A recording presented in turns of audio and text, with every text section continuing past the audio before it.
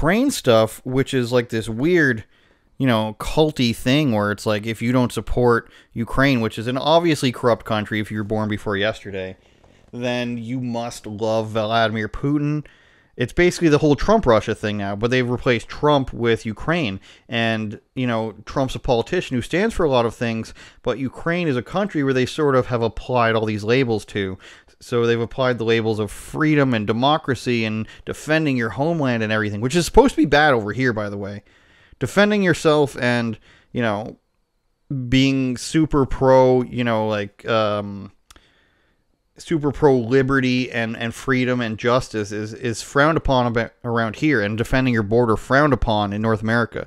But in Ukraine, they've applied all these labels to it and they say, hey, this is amazing. Why don't we give them billions of dollars? And if you oppose that or disagree with it in some way, you raise your hand, you say, uh, we'll tell you that you're actually in favor of Vladimir Putin. So weird thing going on there if you if you follow me at all you know and probably agree with this ukraine stance but the the most hilarious thing to me is people like Poilievre and Doug Ford who say Trudeau sucks all day long. Ford doesn't really say it anymore. He gave up on that. But Poilievre says Trudeau sucks all day long, and then he goes and sides with him on this. And this was the funniest thing um, that that Pierre Poilievre puts out. So 6:30 p.m. Um, Pierre Poilievre posts this on Twitter. My team forced Trudeau to pause his ban on 12 year old trucks. Sign our petition to make sure he doesn't try it again. So Trudeau sucks, right? You know, the whole thing he's running on, Trudeau is the worst guy ever.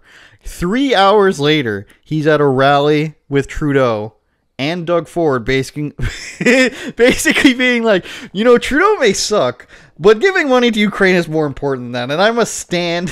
you know, you shouldn't believe Trudeau about anything. But when it comes to giving money and supporting a war in another country, this is one thing we can be on the same side as. So, not three hours later, I can't tell you exactly when this rally was, but it appears to be that he's on his way to this rally, telling you that Trudeau sucks, only to be standing next to him at this rally with Doug Ford. And let's hear what he said here. Please welcome a friend of Ukraine, who we had the pleasure of meeting at the Holodomor Memorial in November the Honorable Pierre Poilievre, leader of the official opposition, leader of the Conservative Party of Canada. Joining him will be Melissa Lantsman, deputy leader of the official opposition, member of parliament for Thornhill, and also Anna Roberts, MP for King Vaughan.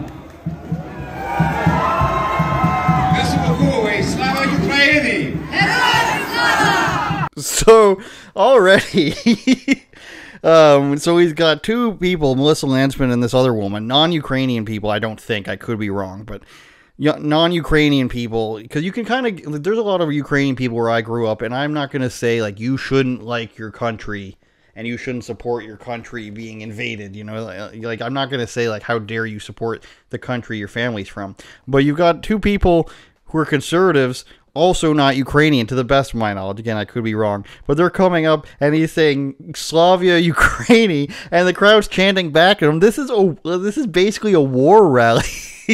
and he just he just came from saying, you know, sign this petition because Trudeau sucks, but also let's come together on this war that we can support. There's only like 10 seconds more. A year ago today, a vicious dictator launched an unjustified, illegal, and unprovoked attack on an innocent people and a sovereign country.